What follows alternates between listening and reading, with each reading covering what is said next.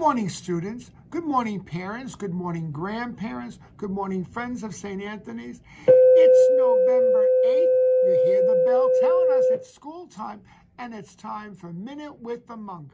Well, what a weekend, what a week ahead. First of all, the craft fair was remarkable. Congratulations to the Mothers Guild. What great work you all did.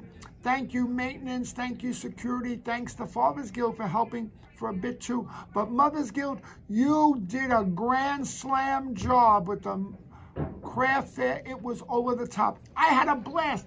Over 175 vendors. I met every grandparent in the Western world. I met so many people. It was wonderful. Nice to see alums back. It was great. The very next day, we had the alumni mass. What a great event that was to honor our alums, especially our alums who have lost loved ones over the years. It's a very special and holy morning and some nice festivities with breakfast and just some nice time to be together. So thank you, Miss Creighton, for putting that together. Lots of our fall sports seasons are coming to an end Great seasons by all. Everyone worked very, very hard. This weekend we saw football, girls swimming, soccer, all heading into playoffs. So congratulations to all those. I'm so very proud of each of you for all of your efforts and hard work. You know, win or lose, I know it matters to you, but win or lose that you did your best and had a great season, that's really the victory. That's really the victory. I want to mention a while back, I have didn't get a chance to say it, but the boys cross country team and the girls cross country team have done so well all season as well. So congratulations to all of you. Now, this week we got the end, we have the senior movie night tonight. So seniors, I'll see you there. I'm not going to wear roller skates and bring you food, but I am going to bring you food. And tomorrow the quarter ends, November 9th. So get all of your work in. Teachers are being very flexible with you.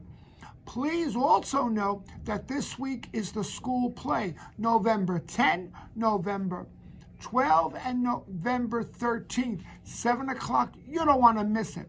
Speaking something you don't want to miss, the Toys for Tots Drive, sponsored by the Fathers Guild, will be November 15th to the 18th. Please Participate in that if you can. Bring an unwrapped toy to the Breezeway November 15th to the 18th. That's all next week. And the Fathers Guild meeting November 18th. The Marines will be here to pick up those toys.